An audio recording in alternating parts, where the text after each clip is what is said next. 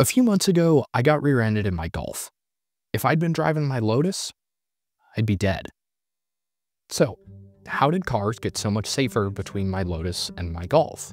And more importantly, who do we have to thank for it? Well, as it turns out, I'm alive because of the work of a bunch of people I'd never even heard of. People who worked for decades to bring crash safety into a world that wasn't ready. So today, I'm going to tell you all about the pioneers of crash safety, and then I'll explain exactly how each of them helped save my life.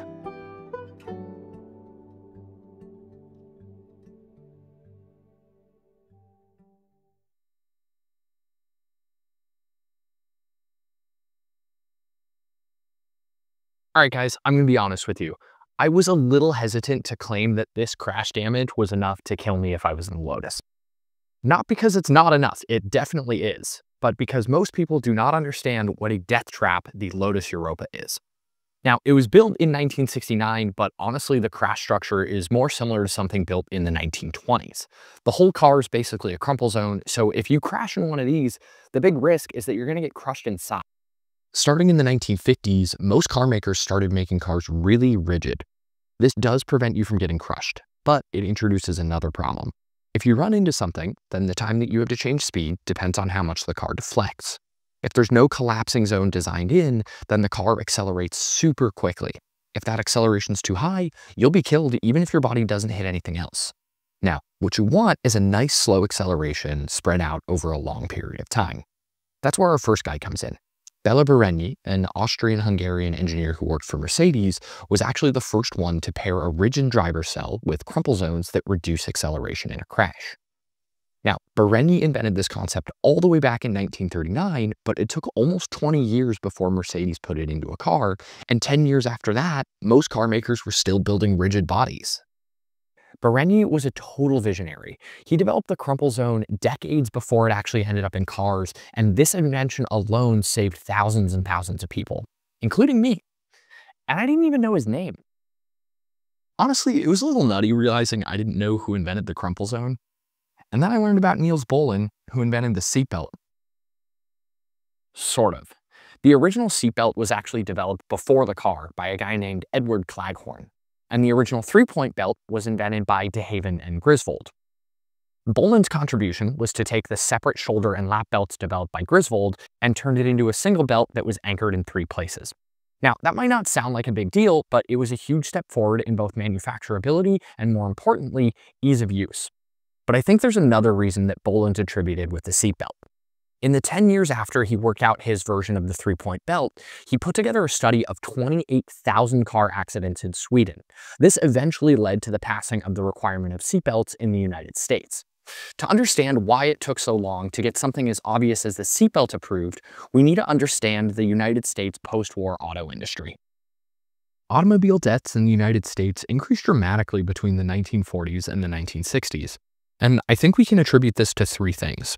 First, post-war America was wealthy, so more Americans had access to cars. Second, cars were getting faster.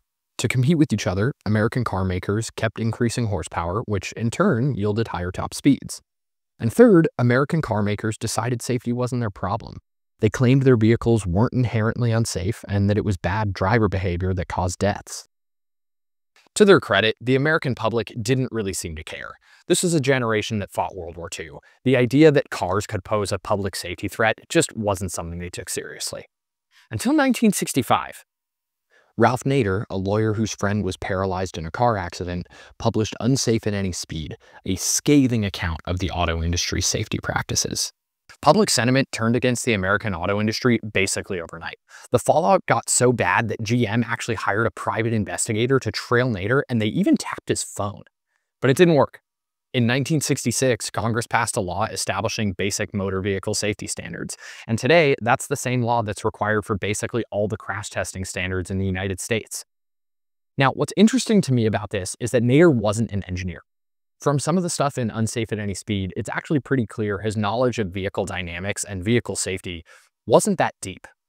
He probably couldn't have invented the three-point seatbelt, and he definitely couldn't have invented the crumple zone. But he found a way to build on the work that Bohlin, Barenyi, DeHaven, Griswold, Cleghorn, and lots of others had already done. And as a result, about 60 years later, I got to walk away.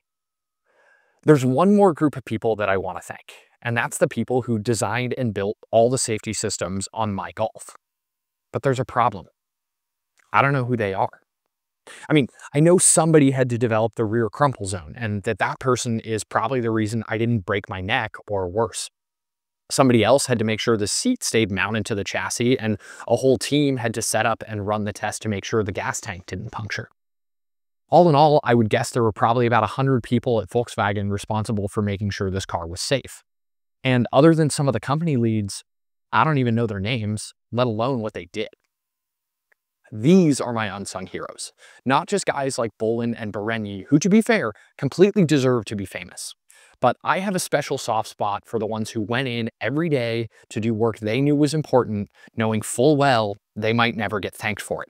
So to those people, thank you. I really enjoyed getting to share these guys' stories with you today. If you want, you can go ahead and check out my other videos or you can subscribe for when I come out with more. In any case, thank you so much for watching.